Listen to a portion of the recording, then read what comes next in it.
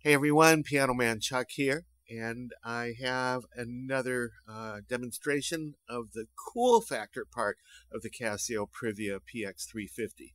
And before I go on, no, I do not work for Casio. I don't know anybody or related to anybody that works there. I just think this is a super cool board and I'm very excited about it, and I want to share some of my findings about this board with you. The first cool factor that they don't tell you about and I mean they'll give you a bunch of specs and all that kind of stuff. But they don't tell you about these cool factors. I've got four that I'd like to cover today. The very first one is the boot up time, seven seconds. Seven seconds from the time you turn that power switch on, you can be playing. It's that fast. Very quick. Now, the second cool factor is this USB port. If you're a gigging musician and you're performing live, a lot of times it's dark and you can't see what you're doing. Now, thanks to that USB port and where it is, they sell these little USB LED lights, and you just plug it in to the USB port, like so. You can see the light right there. See that?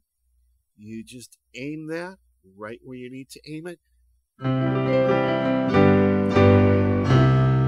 and you can actually see. So what you're pressing uh, is going to be relevant. Whatever you press, you can actually see the label now. Now that's a big thing when you're on stage and it's dark. Now the other thing when you're on stage, or even when you're at home, is a lot of times it gets hot and you really need to cool off. And there's no other power supply for you to plug into because power supplies and plugs and wall outlets are at a premium at a gig. So this is a USB fan. You plug this in to the USB port, and you, you see the fan right here? It's got a power switch. I turn it on, and voila! I aim it right at my face, and I can stay cool while I play. Very big plus when you got stage lights on you and all that stuff. Now, the only problem is there's only one USB port here, so you would probably have to get yourself one of those four port adapters because you want more than just the light and the fan. You probably want to plug in one of those USB thumb drives or flash drives or whatever because you can record your live performance right onto the USB drive. So that's three things you got going on a USB port where you need a port, uh, four port adapter to and that is just so cool. These things didn't exist a few years ago. Now, the third thing that I wanted to talk about is the line level inputs, and they're quarter inch. So, unlike other manufacturers that give you these little eighth inch mini inputs where you can plug your iPod into, this is professional. It's quarter inch line level inputs.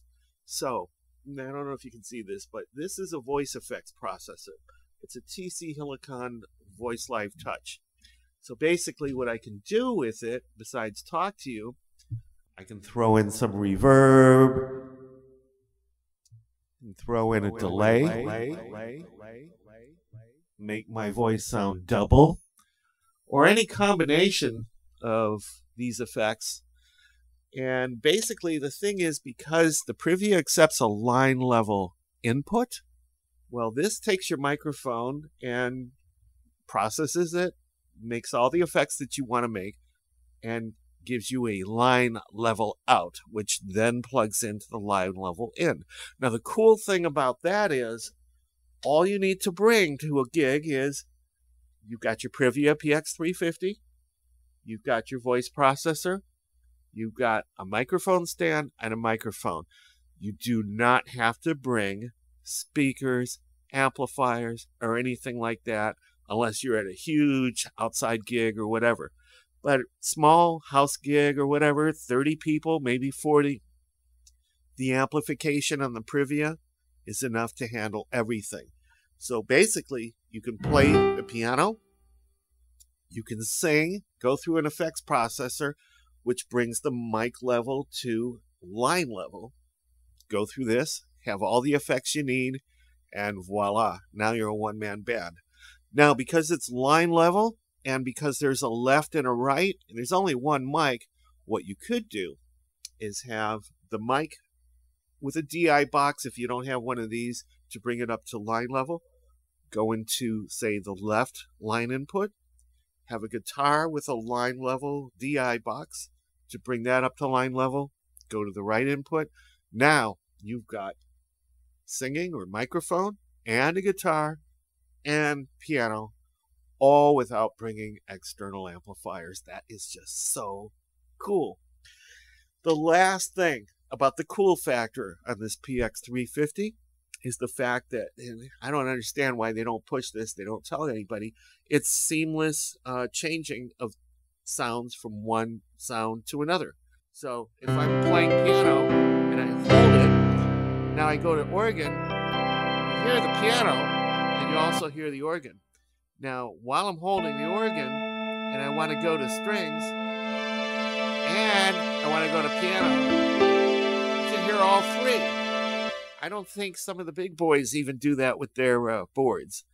And it even works for layers. So if you've layered your board so that you have two patches playing for every key that you play, you can hold that, go to another patch, and play that as well. Anyway, this is Piano Man Chuck. Hope this has been enjoyable to you. Thanks for watching.